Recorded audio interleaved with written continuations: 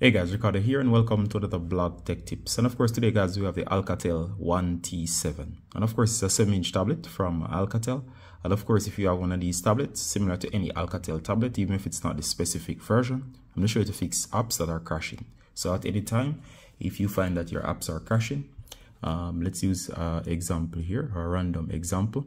Let's say um, Facebook Lite is crashing um, we're going to go ahead and show you how to fix that all right um, could be the regular version of facebook could be youtube it could be anything all right so of course you're going to go to settings.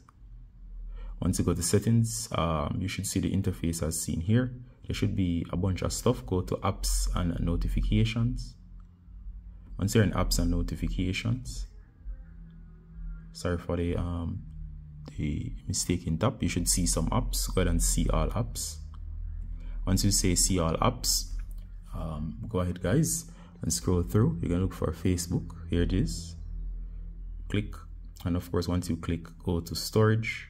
Once you go to storage you're gonna clear um, the cache. And next you're gonna clear the data. It's gonna warn you about um, files locally being lost. Go ahead and click ok. All right so go ahead and hit ok.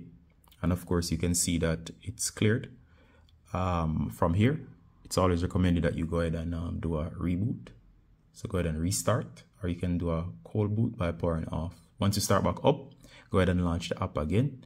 And if it was Facebook Lite that was crashing, um, of course, require that you log in once more. But once you do, um, the app should stop from crashing. And of course, things should be working as normal. So that's how you do it on um, this Alcatel device here, which is a 7-inch tablet. If you have any direct questions, please ask them below. Ricardo, as always, same bye until next time. Bye.